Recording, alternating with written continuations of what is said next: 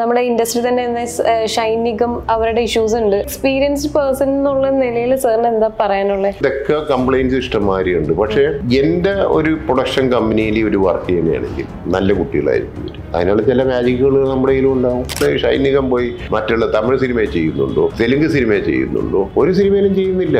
ഈ സിനിമയിൽ വന്നിട്ടുള്ള ലക്ഷറി മാത്രം ആവശ്യപ്പെടുന്ന ഒരു യങ് ജനറേഷനാണ് ഇപ്പോൾ വന്നുകൊണ്ടിരിക്കുന്നത്. ഈ ലക്ഷറിയുടെ ഒരു പാർട്ടാണല്ലോ ഡ്രഗ് അഡിക്ഷൻ അവർക്ക് ഒന്ന് ഹൈ ആയിട്ട് നിൽക്കുക എന്നാലേ സിനിമ തലയിൽ വരുവുള്ളൂ. അങ്ങനെയാണെങ്കിൽ ഞങ്ങളൊക്കെ ഇന്ന് ഡ്രഗ് അഡിക്ഷനിൽ പെട്ട് ജീവിക്കേണ്ട ആൾക്കാരായി മാറിയേനാ. എനിക്ക് ഇന്നത്തെ യങ് ജനറേഷനെ പറ്റി പറയാനുള്ളത് എന്താണെന്ന് വെച്ച് കഴിഞ്ഞാൽ they are not serious about the cinema പക്ഷേ വളരെ സീരിയസ് ആയിട്ട് കാണുന്ന യങ്സ്റ്റേഴ്സ് ആയിട്ടുള്ള പെൺകുട്ടികളാണ് ഇപ്പം സീരിയസ് ആയിട്ട് സിനിമ കാണുന്നത്. ലൊക്കേഷനിൽ വന്നു കഴിഞ്ഞാൽ അവരെ പറ്റിയുള്ള കംപ്ലൈന്റുകൾ ഒന്നും തന്നെ ഇല്ല. പിന്നെ ഇത് ആവശ്യമില്ലാതെ ഇഷ്യൂസ് ഉണ്ടാക്കുക എന്തൊരു ഫാഷനാണോ അല്ലെങ്കിൽ ഫ്രെയിമാണോ? ഞാൻ ഇന്ന് കാലത്തും ഒരു ഇന്റർവ്യൂ ഏതോ ഒരു ഷൈൻ ടോം ചാക്കോടെ കണ്ടു. It's funny. എന്താ പുള്ളി അമ്മ- എന്താ പുള്ളി ഉദ്ദേശിക്കുന്നത് എനിക്ക് മനസ്സിലാവുന്നില്ല. പണ്ട് എങ്ങനെയായിരുന്നു വെച്ച് കഴിഞ്ഞാൽ ഒരു സീൻ ഷൂട്ട് ചെയ്ത് കഴിഞ്ഞാൽ പ്രമുഖ താരങ്ങളല്ല തന്നെ. മോഹൻലാലാണെങ്കിലും മമ്മൂക്കയാണെങ്കിലും എല്ലാവരും തന്നെ. ആ സീൻ കഴിഞ്ഞു കഴിഞ്ഞാൽ അടുത്ത സീൻ നടക്കുന്നത് വാച്ച് ചെയ്തുകൊണ്ടും അവിടെ ഇൻവോൾവ്മെന്റിലാണ് നിൽക്കുന്നത്. ഇന്ന് അതല്ല. ഇന്നൊരു ഷോട്ട് കഴിഞ്ഞാൽ ആർട്ടിസ്റ്റ് ആദ്യം ചെയ്യുന്ന കാരവലിൽ പോയിരിക്കുകയാണ്. അതെന്തോ ഒരു പ്രിസ്റ്റീജിയസ് തിങ് ആണ്. അതായത് കാരവലിന്റെ ഉള്ളിൽ കയറി ഇരിക്കുക എന്നുള്ളത് എന്താണ് നെക്സ്റ്റ് സംഭവിക്കുന്നത്? അല്ലെങ്കിൽ എന്റെ കൂടെ അഭിനയിക്കുന്നവർ എന്താ ചെയ്യുന്നത്? അപ്പൊ അത് വാച്ച് ചെയ്യാൻ നേരമില്ല. അപ്പൊ ഇതൊക്കെ ഇന്നത്തെ അതുമായിട്ട് യോജിക്കാൻ എനിക്ക് ബുദ്ധിമുട്ടുണ്ട്. എനിക്ക് കൊടുക്കാനുള്ള ഒരു ഒറ്റ സജഷൻ എന്താണെന്ന് വെച്ചാൽ സിനിമ എന്താണെന്ന് പഠിക്കണം. ഞാൻ സിനിമ പഠിച്ചിട്ട് തന്നെയാണ് സിനിമയിൽ വന്നത്.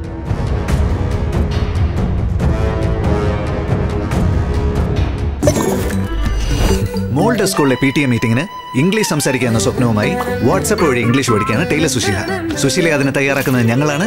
English cafe we present you the perfect English WhatsApp now nine six double three triple eight five seven five hi hello Saina South Plus viewers ഇന്ന് നമ്മളുള്ളത് വളരെ സ്പെഷ്യൽ ആയിട്ടുള്ള ഒരു ഗസ്റ്റിന്റെ കൂടെയാണ്. മലയാള സിനിമ ഇൻഡസ്ട്രിക്ക് ഒരുപാട് ബ്യൂട്ടിഫുൾ ആയിട്ടുള്ള മൂവീസ് സമ്മാനിച്ചിട്ടുള്ള ഒരു വ്യക്തിയാണ്. സോ നമുക്ക് സ്വാഗതം ചെയ്യാം. Shri Siyad Koker. Sir welcome to Saina South Plus welcome thank you എന്തൊക്കെയുണ്ട് വിശേഷം? ഓ ദൈവം അനുഗ്രഹിച്ച് അങ്ങനെ പോകുന്നു. സുഖമായിട്ടിരിക്കുന്നു ആ ഇവിടം വരെ എത്തി. ഓക്കെ സർ ഓക്കെ അപ്പം ആസ് എ പ്രൊഡ്യൂസർ സാറിന് ഈ ഒരു അതായത് ഒരു ഉള്ളിലൊരു പാഷൻ ഉള്ളതുകൊണ്ടാണല്ലോ ഡെഫിനറ്റ് ആയിട്ടും ഫിലിം മേക്കിങ്ങിലേക്ക് വന്നത്. പക്ഷെ എനിക്ക് ചോദിക്കാനുള്ളത് ഈ ഫിലിം മേക്കിങ്ങിന് വരുന്നതിന് മുന്നേ ഇതായിരുന്നോ ഫസ്റ്റ് ഒരു ജോലിയായിട്ട് സ്വീകരിച്ചാൽ അതിന് മുന്നേ വേറെ എന്തെങ്കിലും ഒരു പ്രൊഫഷനിൽ ഇരുന്നിട്ട് അങ്ങനെയാണോ വന്നത്? എങ്ങനെയായിരുന്നു സാറിന്റെ ഒരു സ്റ്റാർട്ട് ഞാൻ ആഫ്റ്റർ ഗ്രാജുവേഷൻ എന്റെ ഫാദർ ഉണ്ടായിരുന്നു മിസ്റ്റർ അബ്ദുൽ ഖാദർ എന്ന അദ്ദേഹത്തിന്റെ പേര്. അദ്ദേഹത്തെ പെറ്റ് നെയിമാണ് കോക്കർ എന്ന് പറയുന്നത്. അപ്പോൾ അദ്ദേഹത്തിന്റെ കൂടെ ആയിരുന്നു. ഞാനായിരുന്നു എല്ലാ കാര്യങ്ങളും അദ്ദേഹത്തിന്റെ കൂടെ നിന്ന് ചെയ്തിരുന്നു ബിസിനസ് കാര്യങ്ങളെല്ലാം തന്നെ. അങ്ങനെ ആ കാലഘട്ടത്തിലാണ് ഫസ്റ്റ് ഒരു സിനിമ തിയേറ്റർ മേടിക്കാം സിനിമ തിയേറ്ററിൽ മേടിക്കാം എന്നുള്ളൊരു പ്രപ്പോസൽ വന്നു ആ, പണ്ടത്തെ സൈന തിയേറ്റർ എന്ന് നിങ്ങൾ കേട്ടിട്ടുണ്ടാവുമെന്ന് എനിക്കറിയില്ല. ടി കെ പരീക്കുട്ടി എന്ന് പറയുന്ന പ്രശസ്തനായിട്ടുള്ള ഒരു നിർമ്മാതാവ് ഉണ്ടായിരുന്നു. ഭാർഗവി നിലയം പോലെയുള്ള സിനിമകൾ എടുത്ത്. അപ്പോൾ അദ്ദേഹത്തിന്റെ തിയേറ്റർ അദ്ദേഹത്തിന്റെ മരണത്തെ തുടർന്ന് അത് വിൽപ്പനയ്ക്ക് വന്നു കഴിഞ്ഞപ്പോഴത്തേക്കും എന്റെ ഫാദർ മട്ടാഞ്ചേരിയിൽ ബിസിനസ്സായിരുന്നു. ഞാൻ എറണാകുളം ബേസ്ഡാണ് എറണാകുളം ബേസ്ഡ് ഫാമിലിയാണ്. Traditionally Muslim family. അപ്പോൾ അദ്ദേഹം ആദ്യം ഇങ്ങനെ ഞാനിപ്പോൾ ഗ്രാജുവേഷൻ കഴിഞ്ഞു അങ്ങനെ നിൽക്കുമ്പോഴത്തേക്കും ഇങ്ങനെ ഒരു സംഭവം കേട്ട് കഴിഞ്ഞപ്പോൾ ഞാനാണ് ഫാദറിനോട് ഒരു ഇൻസ്പിറേഷൻ കൊടുത്തിട്ട് അങ്ങനെ തിയേറ്റർ ബിസിനസ്സിലാണ് ഞാൻ എൻട്രി ചെയ്യുന്നത്. അപ്പോൾ ആ തിയേറ്റർ ബിസിനസ്സിൽ എൻട്രി ചെയ്തതിന്റെ ഒരു റീസൺ എന്ന് വെച്ച് കഴിഞ്ഞാൽ ഞാൻ എന്തോ എന്റെ ചെറുപ്പകാലങ്ങളിൽ ഞാൻ ഏറ്റവും കൂടുതൽ ഇഷ്ടപ്പെട്ടിരുന്നത് ഇതിലെ സിനിമ പാട്ടുകളാണ് ഇഷ്ടമാതിരി പാട്ടുകൾ കേൾക്കുമായിരുന്നു. എസ്പെഷ്യലി ഹിന്ദി ഫിലിം സോങ്സ് പിന്നെ Malayalam of course Malayalam film songs എല്ലാം കേൾക്കുമായിരുന്നു. അപ്പോൾ അതായിരിക്കാം എന്നെ അതിലേക്ക് നയിച്ചത്. എന്ന് വെച്ച് കഴിഞ്ഞാൽ ആ ഒരു പിന്നെ അതേമാതിരി റീഡിങ് ഹാബിറ്റ് എനിക്ക് കണ്ടവനുണ്ടായിരുന്നു. ഒട്ടുമുക്കാൽ മലയാള പ്രശസ്തരായ ആൾക്കാരുടെയൊക്കെ നോവൽസ് വായിക്കുമായിരുന്നു. വെസ്റ്റേൺ മ്യൂസിക് കേൾക്കുമായിരുന്നു. മ്യൂസിക് വളരെയധികം. കേൾക്കുമായിരുന്നു. ഇറ്റ് വാസ് എന്താ പറയാ അറ്റ് ലൈക്ക് ലൈഫ് എന്നൊക്കെ പറയാം അല്ലേ? ആൻഡ് സെയിം ടൈം അന്നത്തെ കാലത്ത് ഈവൻ ബീറ്റിൽസ് റോളിംഗ് സ്റ്റോൺസ് അങ്ങനെ വെസ്റ്റേൺ മ്യൂസിക്കിലും വളരെ അറ്റാക്റ്റഡ് ആയിരുന്നു. അപ്പം അന്നൊരു ഫ്രീ തോട്ട് എന്ന് പറയുന്ന സംഭവമായിരുന്നു. ഇന്ന് കാണുന്ന ഒരു കാലഘട്ടമല്ല അന്ന്. അന്ന് വളരെയധികം നമുക്ക് ഫ്രീ തോട്ട്സ് ഉണ്ടായിരുന്നു. ആ തോട്ട്സ് പങ്കിടാനുള്ള സുഹൃത്തുക്കളുണ്ടായിരുന്നു. ഈഗോ ക്ലാഷസ് ഉണ്ടായിരുന്നില്ല. അങ്ങനെ ഒരു കാലഘട്ടമായിരുന്നു. അങ്ങനെ സിനിമാ തിയേറ്റർ അവിടെ തുടങ്ങി. സിനിമാ തിയേറ്റർ തുടങ്ങിയതിന് ശേഷം എറണാകുളത്ത് eighty three sorry eighty one eighty വണ്ണിലാണ് Maimoon Lulu theatre എന്ന് പറയുന്ന രണ്ട് സ്ക്രീനുകൾ ഇവിടെ സ്റ്റാർട്ട് ചെയ്തു ഒരു കോംപ്ലക്സോടുകൂടി അങ്ങനെ നിന്ന് കഴിഞ്ഞപ്പോഴത്തേക്ക് എനിക്ക് ഇൻഡിപെൻഡന്റ് ആയിട്ട് എന്തെങ്കിലും ഒരു ബിസിനസ് ചെയ്യണം. എന്ന് തോന്നിയിട്ടാണ് ഞാൻ എന്റെ സുഹൃത്തുക്കളുണ്ടായിരുന്നു അന്ന് കുറേ പേര് എന്റെ സുഹൃത്തുക്കളുണ്ടായിരുന്നു. അപ്പോൾ സുഹൃത്തുക്കളായിട്ട് ഞങ്ങളുടെ സമയം ചെലവഴിച്ചിരുന്നത് കഥകൾ ഡിസ് ഡിസ്കസ് ചെയ്യുക എന്നുള്ളതാണ്. കഥകളെ പറ്റിയും വായിക്കുന്ന ബുക്സിനെ പറ്റിയുള്ള കാര്യങ്ങളൊക്കെയാണ് പറഞ്ഞുകൊണ്ടിരുന്നത്. ഇതിന്റെ സന്ദർഭവശാൽ എന്റെ ഒരു childhood friend mister Paul Babu ആ പോൾ ബാബു എന്ന് അദ്ദേഹം യു എസ് സി പോയി. പുള്ളിയുടെ ബ്രദറൊക്കെ അവിടെയുണ്ട്. അങ്ങനെ യു എസ് സി പോയി. സിനിമോഗ്രാഫി ഡയറക്ഷൻ ആൻഡ് എഡിറ്റിംഗ് അങ്ങനെ ഒരു കോഴ്സ് ചെയ്തോടെ ഗോൾഡ് മെഡലിസ്റ്റായിട്ട് പുള്ളി തിരിച്ചു വന്നു ഈ കാലഘട്ടത്തിൽ.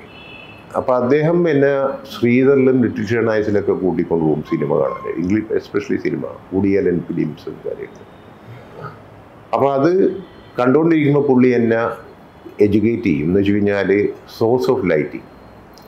എന്റെ ആദ്യത്തെ അനുഭവമാണ്. അത് എങ്ങനെയാണ് ഒരു സീൻ എടുക്കുമ്പോഴത്തേക്കും ആ സോഴ്സ് ഓഫ് ലൈറ്റ് വരിക? നമ്മളിപ്പോൾ ഇവിടെ ചെയ്തിരിക്കുന്ന ഈ ലൈറ്റിംഗ് പാറ്റേൺ എന്തിനെ ഫോക്കസ് ചെയ്തിട്ടാണ്? ആ സീനിൽ എന്തൊക്കെയാണ് പ്രത്യേകതകൾ എന്തിനെ ഫോക്കസ് ചെയ്യണം? ഇങ്ങനെയുള്ള പല കാര്യങ്ങളും എന്നെ പറഞ്ഞ് എഡ്യൂക്കേറ്റ് ചെയ്തു. കൂടാതെ പുള്ളി അമേരിക്കയിൽ അന്ന് അന്ന് വീഡിയോസോ കാര്യങ്ങളോ ഒന്നും തന്നെ ഇല്ല അമേരിക്കയിൽ വരുമ്പോഴത്തേക്കും പുള്ളി കുറേ ക്ലാസിക് ഫിലിമുകളുടെ മേക്കിംഗ് ഓഫ് ഫിലിം അതിന്റെ ബുക്സാണ് കൊണ്ടുവന്നിരുന്നത് ബ്യൂട്ടിഫുള്ളി പോർട്രേറ്റഡ് ബുക്സ് ഒരു സീൻസിന്റെ പ്രത്യേകതകളുണ്ട്. ആ ഫോട്ടോഗ്രാഫ്സ് ഉണ്ട്. ആ ബെൻഹർ ടെൻ കമാൻമെന്റ്സ് ഇങ്ങനെയുള്ള കുറേ സിനിമകളുണ്ട്. ആൻഡ് സൗണ്ട് ഓഫ് മ്യൂസിക് ഇങ്ങനെയുള്ള കുറേ ബുക്സുകൾ ഈ കളക്ഷൻസിൽ നിന്നാണ് നമ്മൾ അതിൽ നിന്ന് കുറേ കാര്യങ്ങൾ പഠിക്കുകയും. അങ്ങനെ ഞാൻ എന്റെ ഫാദറിനോട് സമീപിച്ചിട്ട് എനിക്കൊരു ഇൻഡിപെൻഡന്റ് ബിസിനസ് ചെയ്യണം. എന്ന് പറഞ്ഞപ്പോഴത്തേക്കും പുള്ളിയെ ചോദിച്ചു. വെച്ച് കഴിഞ്ഞാൽ എന്താണ് നീ അപ്പം പുള്ളിയുടെ ഉദ്ദേശം? സിനിമ തിയേറ്റർ നന്നായിട്ട് പോകുന്നു കാര്യങ്ങൾ ചെയ്യുന്നു ഇനി ഞാൻ ചെയ്യാൻ പോകുന്നത് ഏതെങ്കിലും ഇൻഡസ്ട്രിയിലായിട്ടുള്ള കാര്യങ്ങളായിരിക്കും എന്ന് ചോദിച്ചിട്ട് പുള്ളി എന്റെ അടുത്ത് ചോദിച്ചു എന്താ എന്ത് ടൈപ്പ് ഓഫ് ബിസിനസ്സാണ് നീ ചെയ്യുന്നത്? ബിക്കോസ് പുള്ളി ഒരു ആൻഷ്യൻ ബിസിനസ് ഗ്രൂപ്പാണ് എന്റെ ഫാമിലി അപ്പോൾ ഞാൻ പറഞ്ഞത് എനിക്കൊരു സിനിമ പ്രൊഡക്ഷൻ കമ്പനി തുടങ്ങണം. പുള്ളിയൊന്ന് ഞെട്ടി ചെറുതായിട്ട്. പക്ഷേ പുള്ളി കുറച്ചു നേരം തർപ്പിച്ച് നോക്കിയിട്ട് എന്റെ അടുത്ത് പറഞ്ഞു സ്നേഹത്തിൽ തന്നെ. ഞാനും ഫാദറും തമ്മിൽ വലിയൊരു റാപ്പ് ഉണ്ടായിരുന്നു എന്നെ മനസ്സിലാക്കുന്ന ഒരു മനുഷ്യനാണ് അപ്പം സിനിമ പ്രൊഡ്യൂസറായിട്ട് ഉള്ള ഒരു എൻട്രിയിലേക്ക് പുള്ളി പറഞ്ഞു വളരെ സൂക്ഷിക്കണം വളരെ റിസ്കി ബിസിനസ്സാണ് ബിക്കോസ് പുള്ളിക്കാരന് പ്രേം നസീർ സാറായിട്ടാണെങ്കിലും മുത്തയ്യ ടി എസ് മുത്തയ്യ എന്ന് പറയുന്ന ആളായിട്ടാണ്. ഈ ചന്ദ്രകാര പ്രൊഡക്ഷൻസിലെ പൈകുട്ടിക്ക് എന്ന് പറയുന്ന ആളായിട്ടൊക്കെ നല്ല ബന്ധങ്ങളുണ്ടായിരുന്നു. അപ്പോൾ അവരുടെ നിന്നൊക്കെ കിട്ടിയ കുറേ കഥകളും കാര്യങ്ങളൊക്കെ വെച്ചിട്ടായിരിക്കാം. പുള്ളി പറഞ്ഞ പോലെ സൂക്ഷിക്കുക റിസ്കി ബിസിനസ്സാണ് പക്ഷേ ഐ ആം കോൺഫിഡന്റ് മൂവി ആ ഒരു കാലഘട്ടത്തിൽ മൂവി ഇപ്പോൾ ഉള്ള ഷൂട്ടിന്റെ നമ്മൾ ഒത്തിരി വ്യത്യാസമില്ലേ? വളരെയധികം വ്യത്യാസമുണ്ട്. എന്ന് വെച്ച് കഴിഞ്ഞാൽ ഇപ്പം ഒന്നാമത് ഒരു വിഭാഗം ആൾക്കാർ ഒരു കമ്മിറ്റ്മെന്റ് എടുക്കുന്നു നടത്തുന്നു എന്നല്ലാതെ ആ കമ്മിറ്റ്മെന്റിനുള്ള ഇൻവോൾവ്മെന്റ് ഇല്ല. അന്നത്തെ സിനിമയിൽ എന്ന് വെച്ച് കഴിഞ്ഞാൽ ഞാൻ പറഞ്ഞല്ലോ ഞാൻ ഈ കാരവൻ സംസ്കാരത്തിനെതിരോ കാര്യങ്ങളൊന്നുമല്ല.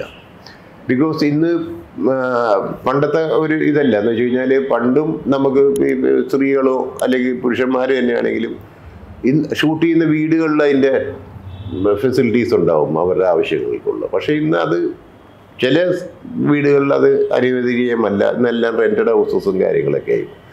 അപ്പോൾ അവരുടെ ഒരു പ്രൈവസിക്ക് വേണ്ടിയാണ് കാരവൻ ഇൻട്രൊഡ്യൂസ് ചെയ്തത്. നോട്ട് ഫോർ റിലാക്സേഷൻ മനസ്സിലായ? പണ്ട് എങ്ങനെയായിരുന്നു വെച്ച് കഴിഞ്ഞാൽ ഒരു സീൻ ഷൂട്ട് ചെയ്ത് കഴിഞ്ഞാൽ പ്രമുഖ താരങ്ങളല്ല തന്നെ. മോഹൻലാലാണെങ്കിലും മമ്മൂക്കയാണെങ്കിലും എല്ലാവരും തന്നെ. ആ സീൻ കഴിഞ്ഞു കഴിഞ്ഞാൽ അടുത്ത സീൻ നടക്കുന്നത് വാച്ച് ചെയ്തുകൊണ്ടും അവിടെ ഡയറക്റ്റ് ഇരിക്കുന്ന സ്ഥലത്തോ അല്ലെങ്കിൽ അവിടെ നിന്ന് മാറി ഇരുന്നുകൊണ്ടോ ആ വെയിലത്തോ അല്ലെങ്കിൽ കുട പിടിച്ചുകൊണ്ടോ അല്ലെങ്കിൽ ഷെയ്ഡ് നോക്കിയിട്ടോ അവിടെ ഇരുന്നുകൊണ്ടും വാച്ച് ചെയ്തിട്ട് ആ സ്ക്രിപ്റ്റ് അത് മടിയിൽ വെച്ചുകൊണ്ടും അത് വായിച്ചുകൊണ്ടും ആണ് നെക്സ്റ്റ് അങ്ങേര് പാർട്ടി ചെയ്യേണ്ട സാധനമാണെങ്കിൽ അവിടെ റെഡി ആയിട്ടാണ് നിൽക്കുന്നത്. മനസ്സിലായ? അപ്പം അത്രയും ഇൻവോൾവ് ആണ് അവിടുത്തെ ഓരോ ക്യാരക്ടേഴ്സും അല്ലെങ്കിൽ അവിടെ വെച്ചിട്ടുണ്ടാവുന്ന ഓരോ മറ്റേ എന്തെങ്കിലും ഇമ്പ്രൂവൈസേഷൻസ് ഇമ്പ്രൂവൈസേഷൻസിന് സജസ്റ്റ് ചെയ്യാൻ വേണ്ടിയുള്ള ആ, ഒരു ഇതിലാണ് ആ ഇൻവോൾവ്മെന്റിലാണ് നിൽക്കുന്നത്. ഇന്ന് അതല്ല. ഇന്നൊരു ഷോട്ട് കഴിഞ്ഞാൽ ആർട്ടിസ്റ്റ് ആദ്യം ചെയ്യുന്ന കാരവലിൽ പോയിരിക്കുകയാണ്. അതെന്തോ ഒരു എന്തോ പോലെ ആ ഒരു പ്രിസ്റ്റീജിയസ് തിങ് ആണ് അതായത് കാരവന്റെ ഉള്ളിൽ കയറി ഇരിക്കുക എന്നുള്ളത്. അല്ലാതെ ആ സീന്റെ എന്താണ് അതിന്റെ ഒരു ഡെവലപ്മെന്റ് അതെ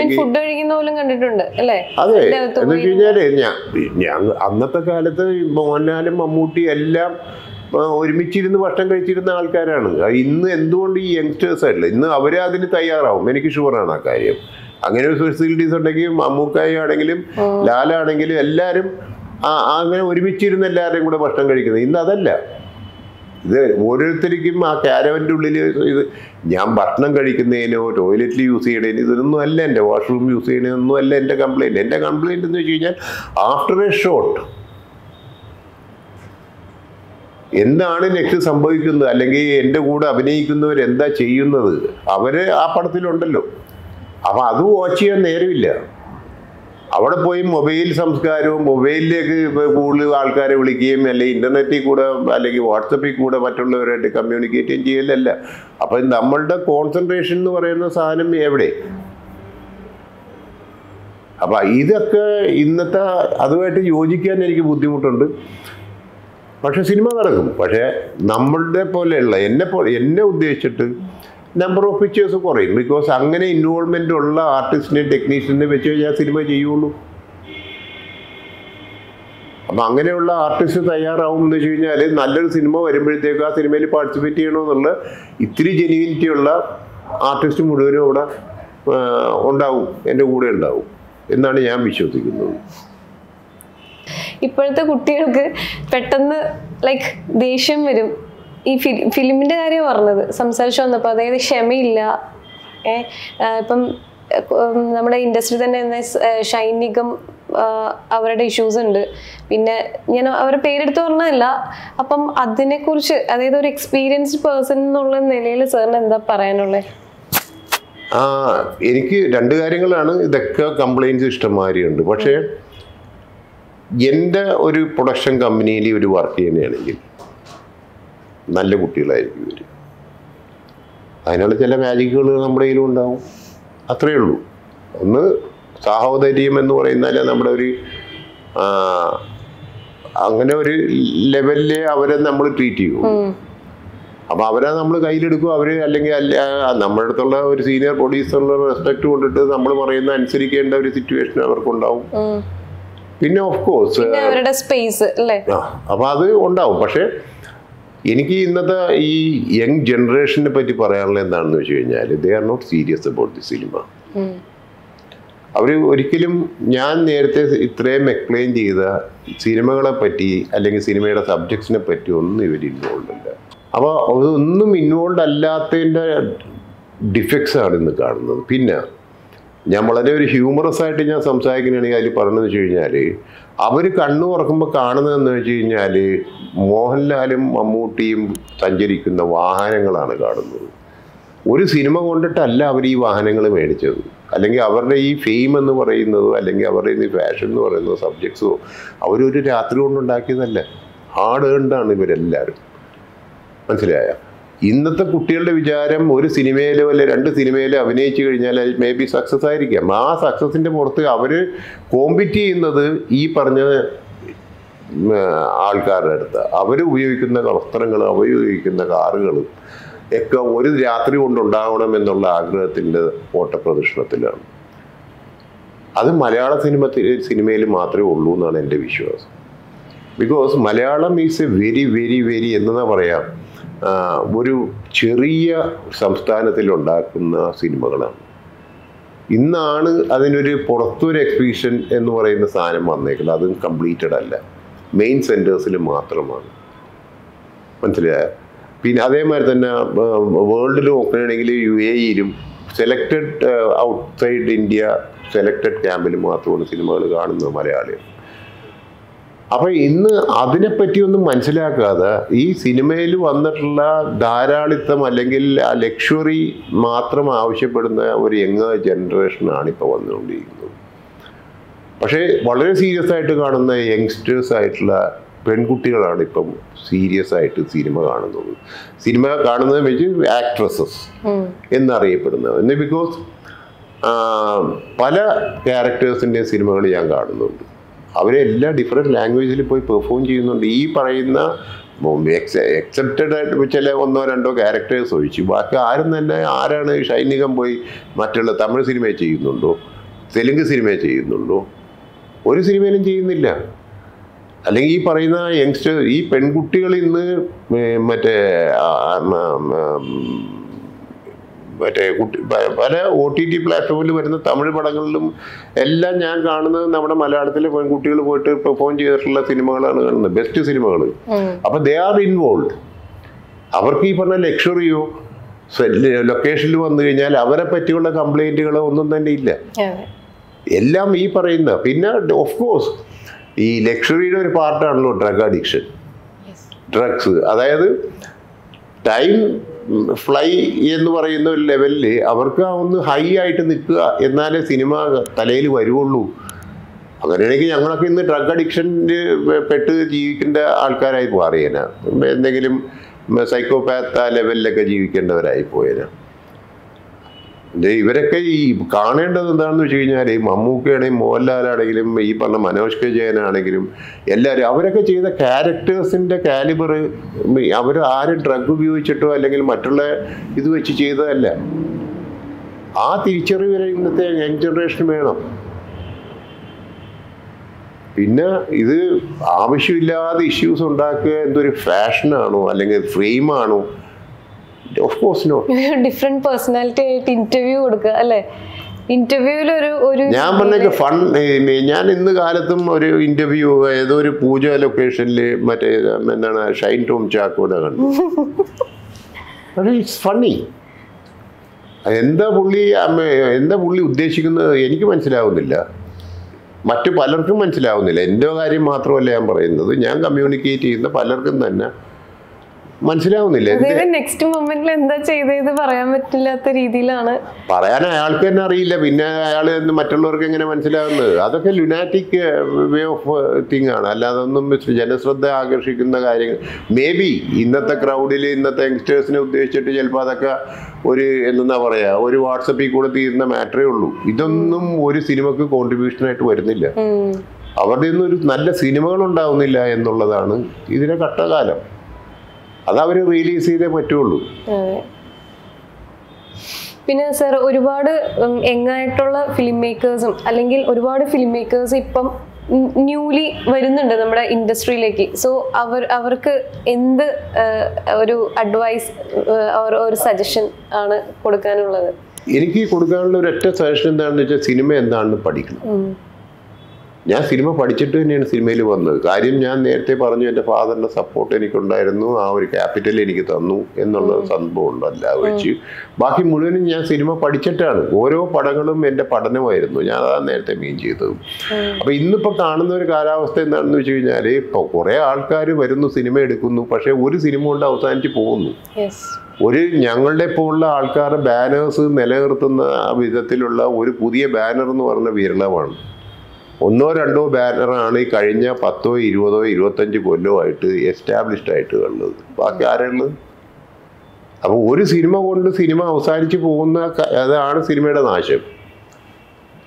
ഇപ്പം ഞാൻ തന്നെ ഇപ്പം ഞാൻ എന്റെ ഫ്യൂച്ചർ പ്ലാനിങ് എന്ന് പറയുന്ന ഒരു സംഭവത്തിൽ കോക്കേഴ്സ് ഫിലിംസ് ഞാൻ ചെയ്തു ഇത്രത്തോളം എന്റെ യങ് ജനറേഷനിലേക്ക് ഞാൻ പാസ് ഓൺ ചെയ്യുന്നതാണ് കോക്കേഴ്സ് മീഡിയ എന്റർടൈൻമെന്റ്സ് എന്ന് പറഞ്ഞു. എന്റെ മകളാണ് അതിന്റെ പ്രൊപ്പറേറ്ററക്സ് ആയിട്ട് വർക്ക് ചെയ്യുന്നത്. പക്ഷേ എന്റെ ബാക്കിംഗ് ഉണ്ടാവും. സബ്ജക്റ്റൊക്കെ ചൂസ് ചെയ്യണം ഞാനായിരിക്കും. അവൾ ഏകദേശം എന്റെ രീതിയിൽ തന്നെ ചിന്തിക്കുന്ന ഒരു കുട്ടിയാണ്. എം ബി എ ആണ്. അവൾ ആവശ്യത്തിന് എഡ്യൂക്കേഷനുണ്ട് എസ്പെഷ്യലി ഫൈനാൻസിലാണ് എം ബി എ എടുത്തേക്കുന്നത് പിന്നെ ആ ഫൈനാൻഷ്യൽ ഡിസിപ്ലിൻ ഉണ്ടാവും. പിന്നെ കാഴ്ചപ്പാടും തീർച്ചയായിട്ടും. ഞാൻ കാണുന്ന കാഴ്ചപ്പാടിലും ഇന്നത്തെ ഒരു ജനറേഷന്റെ കാഴ്ചപ്പാടിൽ കൂടെ സിനിമകൾ ആ വിധത്തിൽ വരണം. എന്ന് വെച്ചാൽ ഹിന്ദി സിനിമകളും തമിഴ് സിനിമകളൊക്കെ കണ്ടതിന് ശേഷം അവർക്ക് ആ പാറ്റേൺ ഓഫ് ഒരുണ്ടല്ലോ മേക്കിംഗ് ആ പാറ്റേണൊക്കെ നമ്മൾ അന്നെടുത്ത പട്ടണപ്രവേശം ആയിരിക്കില്ല ഇന്നെടുത്തു കഴിഞ്ഞാൽ വരുന്നത്.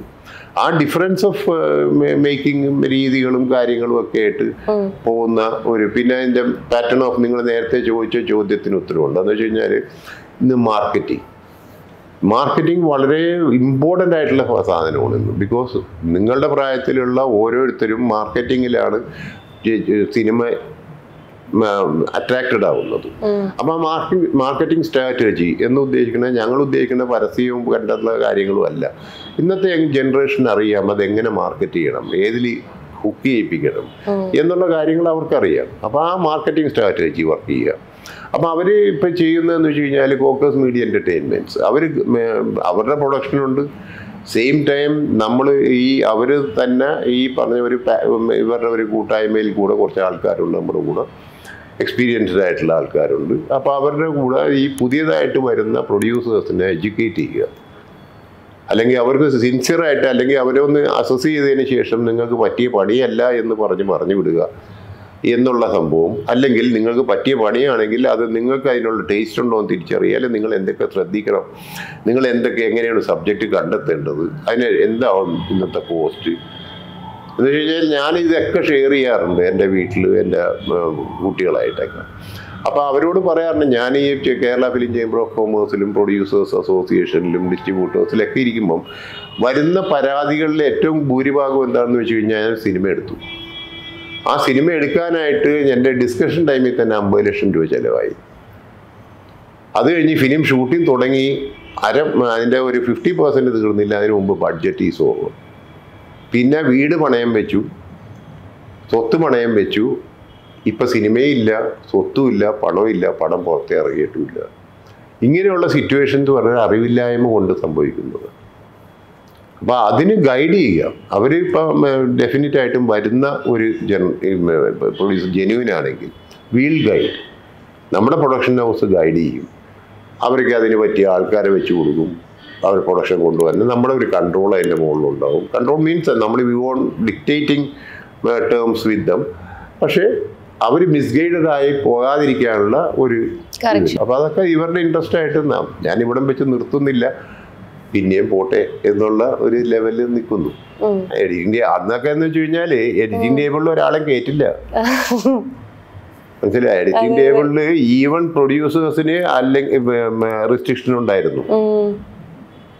പിന്നെ നമ്മളായിട്ടൊക്കെ ഉള്ള ഒരു സ്നേഹം കൊണ്ടിട്ടാണ് അവർ എൻട്രി ചെയ്യിപ്പിക്കുന്നത്. അവരെ ഫൈനൽ കട്ടിങ് ഒക്കെ കണ്ടു കഴിഞ്ഞാൽ വലിയ പൂജയും കാര്യങ്ങളൊക്കെ നടത്തിയിട്ട് ഗ്ലൗസ് ഒക്കെ ഇട്ട് തുണിയുടെ ഗ്ലൗസും അതേപോലെ പുതിയ സിസേഴ്സ് ടേപ്പ് ഇതൊക്കെ വെച്ചിട്ട് ഭയങ്കര എന്തോ ഒരു എന്താ എന്തെന്നാ പറയാ? വലിയ ടാസ്ക് വലിയ ടാസ്ക് അവർ ഒരു ഒരു ഫ്രെയിം മിസ് ചെയ്യാൻ പാടില്ല.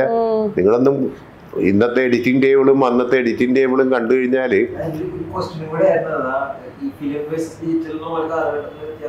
ഡെഫിനറ്റ്ലി എന്ന് വെച്ച് കഴിഞ്ഞാൽ അന്നത്തെ ഒരു മേക്കിംഗ് ഓഫ് സിനിമ ഞാൻ നേരത്തെ മീൻ ചെയ്തല്ലോ. വെറും വ്യൂ ഫൈൻഡറിൽ കൂടെ സിനിമ കണ്ടിട്ട് ആ സിനിമ എടുത്തിരുന്നത്.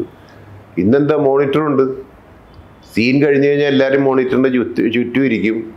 എന്നിട്ട് ഇവരാ തീരുമാനിക്കുന്ന ഷോട്ട് ശരിയല്ല എന്നുള്ളത്. അന്ന് ആര് തീരുമാനിക്കുമായിരുന്നു ഒരു ക്യാമറമാൻ മാത്രം കാണുന്ന ഒരു ഇതാണ്. ആകെ ആ ഷോട്ട് വെക്കുമ്പോഴത്തേക്കും ഡയറക്ടർ പോയി നോക്കും.